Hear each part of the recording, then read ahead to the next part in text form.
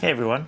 So, after working with Final Cut Pro X for a few weeks now, I've noticed that after I apply some LUTs and effects and transitions, it does start to bog down and slow down a bit. Not to mention the render and export times can sometimes take a while too, so I've done some research into eGPUs and I think I'm going to go out and grab one. It does help that I already have a Radeon RX 580 graphics card from a previous build that's just kind of lying around, so I'll be able to pop that into the eGPU once I grab one. Alright, let's do this.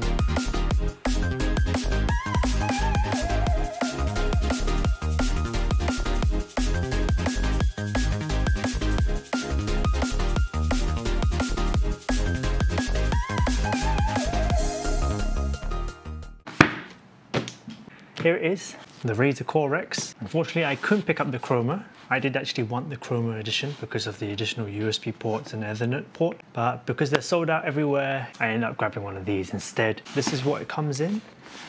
Let's crack this open.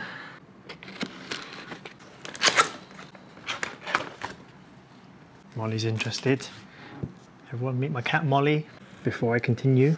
Out you go. Ah, and here we go. This is where we see our first sign that is from Razer. Let's keep going.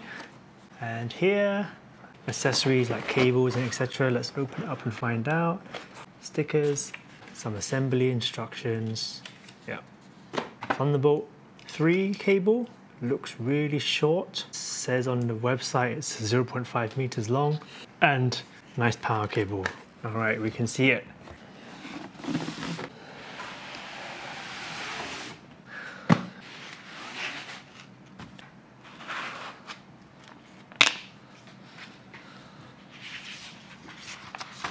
Huh, this is actually plastic. I thought this would be metal, but it's plastic. Here you go, you can see here, there are no ports to be found on this one. Let's now open it up. Quick release, and it should just slide out, which it does very nicely here. There it is. You can see that. The inside PCIe power supply unit the old RX 580. This should boot nicely the moment I plug it in. Plug and play, as they say, plug and play.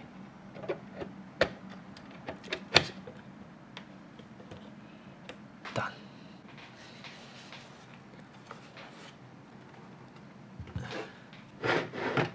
Nope, seem to have inserted it. It's too high. Let's try that again. There we go. Found the rails this time. Slides in, closes. Alright, so after setting up for a few days now and integrating it into my workflow, here are my conclusions. The Razer Core X eGPU and the RX 580 graphics card connect to my MacBook running on macOS Catalina without any issue. It's as simple as plugging it in, waiting for a few seconds for it to be detected, then a new icon pops up in the menu bar where it lists the graphics card enclosed inside the eGPU. It's also listed in the system overview, so that's another way to check if your eGPU is being detected. Performance wise, it's more of a mixed bag. It's not quite consistent across the system, and there's definitely some, how should I say, some quirks with how the eGPU is utilized. Before I share the details of my results though, I'll quickly explain the three setups I used in my testing. The first setup was the Intel Iris running on a built-in display.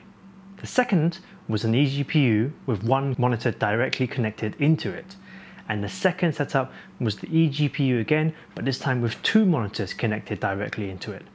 In case you're wondering why I've included a dual monitor setup, I'll explain that in a bit. It's also worth noting that for best results, it's always recommended that you connect an external monitor directly to the eGPU. This ensures the Thunderbolt 3 connection doesn't become congested with traffic looping back into your MacBook. Now with that out of the way, let's get into some benchmarks. Using Geekbench, I ran Metal and OpenCL tests on all three setups that I just mentioned.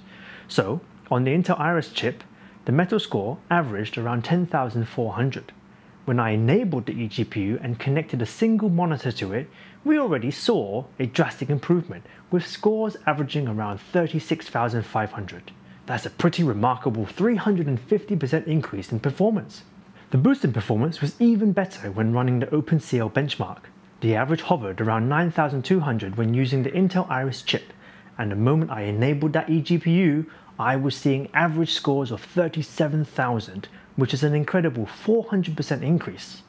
Now let's pause for a minute before I move on to the final setup where I had two monitors connected to the eGPU. Whilst researching about eGPUs, I read some user reports saying they noticed that running two monitors seemingly increased the performance they could squeeze out of an eGPU. Other users also tested this theory using a headless HDMI adapter also known as a dummy adapter, which basically emulates a secondary display and fools the computer into thinking there's another monitor connected. I wanted to test this theory, but as I don't have a second monitor, I chose the more affordable route of grabbing an HDMI adapter for $10 while I was out shopping for the Razer Core X. With the dummy adapter plugged in, and thus emulating a second display, I ran the same metal and OpenCL benchmarks. The metal score now averaged around 43,500, which is an additional 20% higher, and the OpenCL score was averaging 42,000, which is about 14% better. But these are just synthetic benchmarks. Would I see similar results in real world scenarios, such as when using Final Cut Pro, which is the main reason why I grabbed an eGPU in the first place? And so I ran a series of tests in Final Cut Pro. I started with the BruceX benchmark, which is a small project crammed full of transitions and effects. The results show that the Intel Iris was the slowest of the three setups, with an average export time of 40.31 seconds. The eGPU with a single monitor connected averaged 12.36 seconds, and the dual monitor eGPU setup had an average export time of 9.95 seconds. I then loaded up a 5 minute video clip that has various transitions, LUTs, and effects throughout, and this is where my results start going a bit bonkers.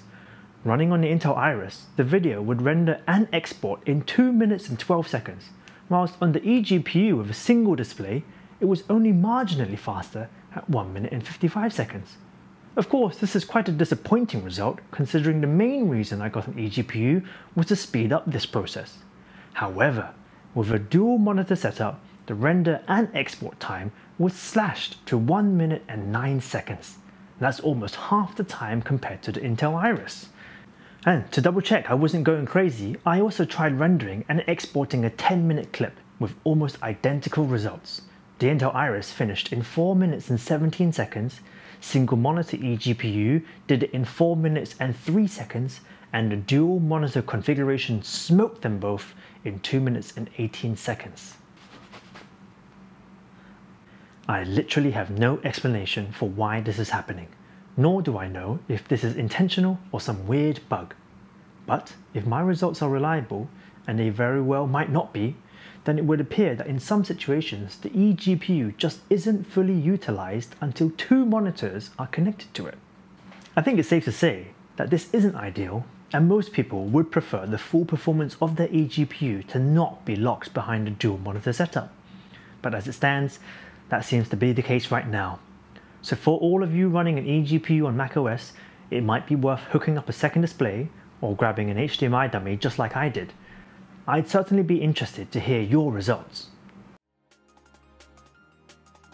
To wrap up, despite the weird workaround of using an additional headless HDMI adapter, adding an eGPU to my setup has sped up my Final Cut workflow whilst also providing some considerable gains in my gaming sessions, which I didn't cover in this video as it's already quite long. The RX 580 is also a dated graphics card at this point, so you'll probably find even more performance gains if you have a newer card such as a Vega 64 or even an RX 5700 XT. Anyway, I hope you enjoyed watching and if you have anything to share about your eGPU experience on macOS, do leave a comment down below. If you liked my video, leave me a thumbs up and if you'd like to watch more content about lifestyle tech and gadgets, then feel free to subscribe too. Once again, thanks and catch you in the next one.